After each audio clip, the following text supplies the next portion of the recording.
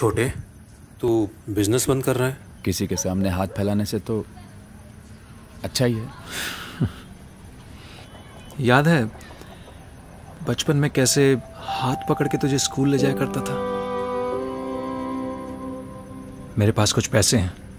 हाथ पकड़ के आगे बढ़े। एक दौर से गुजर के ही हमें पता चला साथ रहने की अहमियत। रहना है साथ साथ जी सिनेमा।